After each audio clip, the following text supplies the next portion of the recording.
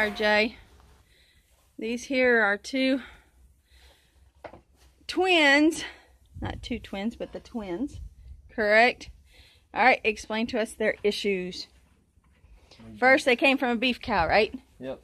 Okay, and while beef cow can raise twins, this came from an old cow who had very little milk and colostrum. So, what's the difference between a beef cow and a dairy cow? Beef cow can't do it very well.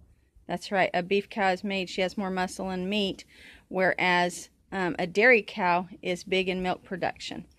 So, um, we've got to get them fly sprayed. They have blood in their um, poop, right? Mm-hmm. Which means they more than likely have what?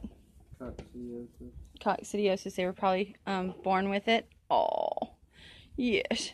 And that's the little boy that RJ just doctored and has the terrible taste in his mouth. Um, we're gonna clean him up. The little girl is standing back there. Um, so we will get them going good, right? All right. So they're gonna get um, Corid for the coccidiosis, and then they're gonna get Spectagard to help them not have diarrhea because the irritable bowel is probably what's causing the blood. But you don't really know, do we, son? And then we're gonna follow it up with a lovely bottle of what? Colostrum. Okay, and colostrum is the first milk that um, a cow produces. It lines their tummy, gets them producing, or uh, gets them digesting food real good. So, and then the last thing we're gonna do is fly spray these guys. I've got to get some hay in here. We had this stall for um, poor boy Gordy, who is out there, huh? Hey, Gordy, and he's doing wonderful. He got a crooked leg, but he's doing great. Um, so, and they're still out there cleaning up their feed. They're like, woohoo, they're still feeding here. So, anyway, we will get some hay for bedding because they probably won't eat a whole lot of the hay, um, and they probably won't eat uh, or drink a lot of water yet. But we'll put them on bottles and we'll um, leave the water as an offering so that, that way if they choose to. But Oh, and he's tired. All right. RJ, will you stick your hand in their mouth and see if it's warm or cold? Warm. Warm? Okay. So we do that for the simple fact that if it is cold, it means they need warming up. Um, and that way their body's not shutting down. Okay, you ready? All right. Oh, oh, easy. Don't kick him. And see, they've definitely got fly stuff here. All right. Here, give her this. And let's see if she'll.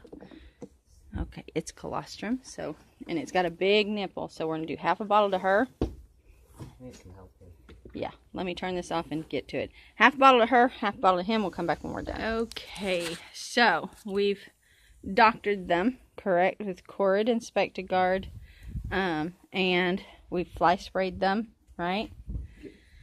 And we saw one poop, which was really a bloody mess, correct? And the other one's poop, we saw it and it looked decent. and it looked decent. So, probably the one standing up was the one that the cow favored, and this one is the one that they tried to help along. What? How do you think all this unpl- unfolded, played out, whatever you want to say it? They probably tried to give them bottles or something. Because they're beef cattle, and she probably just doesn't produce enough, correct? Yep. So beef cattle don't produce enough milk to really sustain twins because twins is uncommon in them. Somebody probably tried to help them along. These two guys are really tired and just wore out. So we also gave them colostrum. We got a half a bottle down, the one laying down, and we only got a pint down, um, the one standing up. But we'll bring it back out tonight and make sure that she gets it. And then they'll be on water. They're a little dehydrated. RJ, show people how to do the pinch test to tell. His phone. show them how to do the pinch test on the little boy. Okay. And it's much like the same in humans. If you pull up on them and it doesn't like snap right back down. I don't know if you can see it there. That's loose.